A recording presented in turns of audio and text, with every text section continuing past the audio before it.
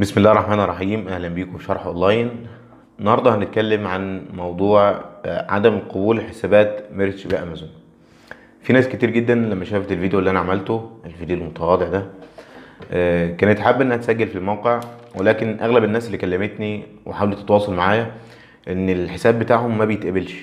هما تمام بيسجلوا المعلومات وكل حاجة ولكن بتواجههم مشكلة إن بعد تقريبا أربع أيام من أربع أيام لسبع أيام ما بتوصل لهمش ما بيوصلهمش إيميل إن الإيميل اتفعل وكده والحساب بتاعهم اتفعل لا ده بيوصل لهم إيميل إن الحساب بتاعهم اترفض. والحقيقة في آه، يعني تقريبا كام محور أساسي كده ممكن نتكلم عنهم باستفاضة ونفهم الناس إن شاء الله ونحاول نفهم مع بعض إيه المشكلة. هنفهم مع بعض أكيد يعني. آه، المشاكل دي بتواجه أي حد يعني داخل حابب يسجل في الموقع ولازم ياخد باله منها كويس جدا. في ثلاث نقط إحنا حابين نتكلم عنهم في الفيديو ده ونحاول نلخص الموضوع ونقطع الشك باليقين. طيب تمام. أول نقطة وهي تضارب المعلومات. إنك تسجل بمعلومات ويكون في معلومات متضاربة مع بعضها أو متداخلة أو متضادة زي ما بنقول. آه إنك أنت بتيجي تسجل بتسجل بمعلومات والمعلومات التانية دي آه في لغط بينها وبين بعض. يعني على سبيل المثال إنك أنت تسجل آه، باسم مثلا user name يبقى محمد والإيميل بتاعك أو الميل يبقى مصطفى مثلا. لا أنت لازم تسجل بال بالحاجة بتاعتك أو البي- البيانات بتاعتك. لأن الخوارزميات بتاعت الموقع أو الروبوتات بتاعت الموقع لما تشوف إن في تضاد في المعلومات دي فأكيد بيكون في مشكلة أو مش معقولة يكون شخص اسمه مصطفى ويروح يسجل بجيميل مثلا بتاع واحد اسمه محمد. لا هو الجيميل أصلا مش هياخد منك خمس دقايق إنك أنت تعمله باسم الشخص اللي أنت هتسجل له من الموقع. آه، دي نقطة مهمة جدا لازم ناخد بالنا منها ونحاول ننسق المعلومات بشكل كويس. هو الموضوع مش مستاهل خالص إننا نعمل له فيديو آه، ولكن المشكلة إن في ناس مش عارفة الحقيقة يعني. فأنا كنا حابين نوضح ونوصل آه، المعلومة بشكل صحيح. طيب تضارب المعلومات في الحساب دي عرفناها نحاول نتجنبها نكتب المعلومات بشكل صحيح وإن شاء الله بإذن الله هنكون عدينا أول نقطة. تاني نقطة المهمة جدا هو الحساب البنكي بتاع Payoneer. الحساب البنكي بتاع Payoneer. دلوقتي أنا كمحمد مثلا ورحت عايز افتح حساب في Merch by Amazon ودخلت بعض المعلومات غلط. أو الموقع أصلا ما قبلنيش آه، شاف ان أنا منفعش ما قبلنيش وخلاص. وبعدين آه، كنت مدخل حساب بنكي أو ال- حساب Payoneer. ال- البنك الإلكتروني بتاع بايونير في الحساب اللي اترفض وجيت حبيت أعمل حساب جديد. تمام؟ فلما فتحت الحساب الجديد ضفت فيه معلومات البنك القديم اللي أنا ضفته في الحساب اللي فات. فدي مشكلة بيقع فيها أكتر يعني أكتر ناس بيقعوا فيها الناس اللي بتترفض الحسابات بتاعتهم ويحاولوا يبعتوا تاني فيترفضوا يبعتوا تاني فيترفضوا كل ما يبعتوا هيترفضوا. بسبب الحساب البنكي الإلكتروني بتاع Payoneer إنك أنت لما جيت عملت حساب ضفت فيه الحساب اللي فات فأنت خلاص كده اتعرف إن الشخص ده هو هو اللي بعت المرة اللي فاتت وهو اللي بعت المرة اللي قبلها. فهو بالتأكيد مش مؤهل بتاتا إن هو يكون ليه database على الموقع. أو إن يكون ليه حساب على الموقع أو يتعامل مع على الموقع باي بأي شكل من الأشكال. دي نقطة من النقط المهمة جدا. لازم إذا اترفض الحساب بتاعك اعمل حساب بنك جديد وجيميل جديد. يا ريت يعني عشان ما, ما يكونش دي مشكلة. يعني تكرار المعلومات بنفس الطريقة وبنفس النهج. ده بي... أنت كده بتثبت للموقع إنك أنت spam تمام؟ لما يشوف إنك أنت spam فأنت بالتالي مش مؤهل بأي شكل من الأشكال إنك أنت يكون ليك ID على الموقع وإن يكون ليك آه، حساب تقدر من خلاله تصمم وتعرض التصاميم بتاعتك عشان تقدر تحصل على مبيعات إن شاء الله فيما بعد. دي نقطة مهمة جدا. النقطة الثالثة اللي لازم ناخد بالنا منها وهي التعريفية التعريفية بتاعتك أو السي في الصغير ده. بعد ما بتخلص كل ده وتبقى خلاص أوشكت إنك أنت تعدي آخر مرحلة عشان تبعت الطلب بتاع أول الحساب بتاعك عشان يبقى تحت المراجعة اللي بياخد من أربع أيام لسبع أيام. أنا رد عليه في ثلاث أيام يعني ما خدوش وقت كبير. هي رسالة تعريفية. ميرش بامازون بيقول لك آه، اكتب لنا يعني رسالة تعريفية كده عرفنا مين أنت. أنت مين؟ أو حابب تدخل المجال ده ليه؟ هو مش بيقول لك كده حرفيا يعني هو بيقول لك آه، ادينا نبذة تعريفية عنك ببساطة يعني.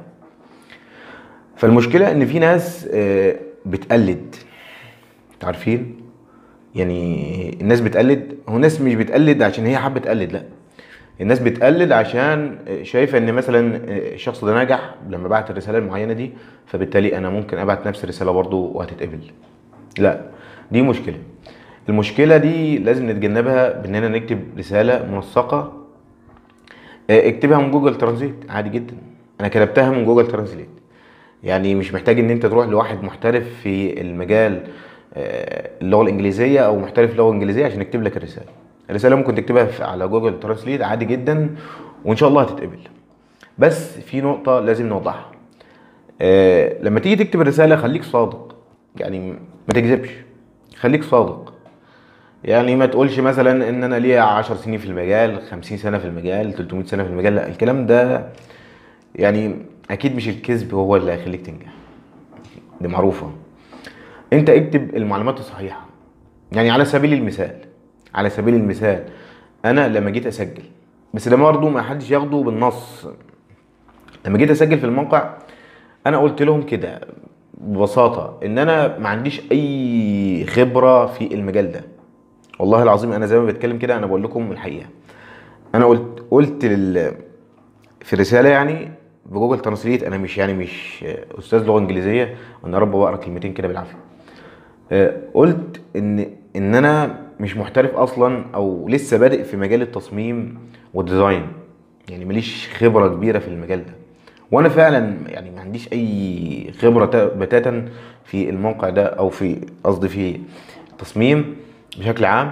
أنا قلت إن أنا ما عنديش أي خبرة في المجال ده. كل اللي عندي إن أنا حابب إن أنا أدخل الموقع بتاعكم وأحاول أعرض بعض الأعمال اللي أنا ممكن أصممها.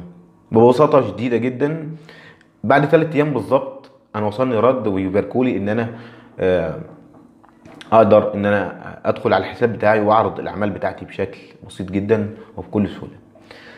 فالفكرة إنك أنت ما تكذبش بأي حال من الأحوال. في أي حاجة مش طبعا مش في مش في ميرج بامازون بس لكن في أي حاجة. حابب إنك أنت تنجح أو إنك أنت يكون ليك حاجة كويسة بلاش تكذب. خليك في الطريق الصح حتى لو مش هتوصل. هو أكيد هتوصل طبعا. ولكن لو ما وصلتش مرة هتوصل التانية أكيد. لأن الصدق هو اللي هينجيك هو اللي هيوصلك. مش عشان كذبت وقلت مثلا أنا ليا 20 سنة في المجال أو 100 سنة في المجال في ناس يعني ترزع. فاكتب المعلومات. بتاعتك بشكل صحيح ما تخليش المعلومات متضاربة. لو الحساب بتاعك ما اترفض من قبل آه، ميرش بأمازون ما تحاولش إن أنت تدخل نفس البيانات تاني. دخل بيانات جديدة. يعني دخل بيانات جديدة. هد هنا وهد هنا كده. دخل بيانات جديدة ما تحاولش إنك أنت تعمل تعبي نفس البيانات مرة تانية. والرسالة التعريفية يا جماعة هي ال- اللي أنا زي ما بقول لكم الصدق. عرف نفسك ببساطة. من خلال Google Translate. مش محتاج إن أنت تروح لشخص محترف في اللغة الإنجليزية عشان يكتب لك رسالة حلوة وجميلة ومنسقه أنا والله العظيم كتبتها بكل بساطة كده. أنا ماليش أي خبرة في مجال التصميم ولكن حابب إن أنا أدخل الموقع بتاعكم وحابب إن أنا أستفيد ويعني أقدم أفكار وحاجات جديدة.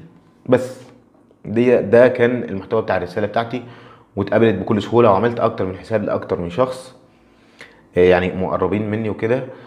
آه، فكانت الفكرة كلها إن أنا يعني مش بحاول اكذب يعني مش بحاول أضخم في الأمور ونعمل شو وكده لأ. اكتب المعلومات الصحيحة واكتب المعلومات المعلومات بتاعتك بشكل صحيح ومنسق وإن شاء الله هتتقبل. ما دون ذلك يعني مش هيقبلوك خالص. بتاتا آه، 500 ألف واحد قدموا ومحدش قبل خد ادخل على أي فيديو من فيديوهات اليوتيوب بيتكلم عن ميرج بأمازون هتلاقي تقريبا 40% من التعليقات أو 50% من التعليقات المكتوبة إنهم ما قبلوش وأنا شفت ناس كتير جدا حاولت إنها تتواصل معايا وكده على فيسبوك وبيقولوا لي إن هم مش مش قادرين إن هم يعملوا حساب. فالفيديو ده حاولنا من خلاله اننا نوصل المعلومة بشكل صحيح وحاولنا اننا نلخص الفكرة كلها بتتمحور حوالين الثلاث نقط اللي إحنا قلنا عليهم. فرجاء يا جماعة أي حد حابب إن هو يدخل يستخدم الأساليب الكويسة آه، الطريق الصح والطريق الصادق هو اللي هيوصلك. بنتمنى التوفيق للجميع. أنا حاسس إن أنا طولت في الفيديو كتير. ده تقريبا داخلين على 11 دقيقة.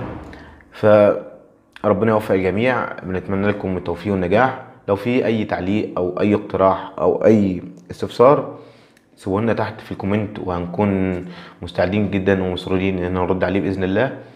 وما تنسوش تعملوا subscribe للقناة وتستنوا الحلقات اللي جاية إن شاء الله. ما تستناش قوي يعني. وتشوفوا الحلقات اللي فاتت هسيب لكم كل الحلقات بتاعه Merch by Amazon اللي أنا عملتها قبل كده في الدايرة اللي بتظهر فوق.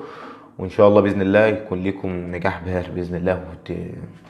بس لو بعتوا حاجة يعني افتكروا أخوك الغلبان.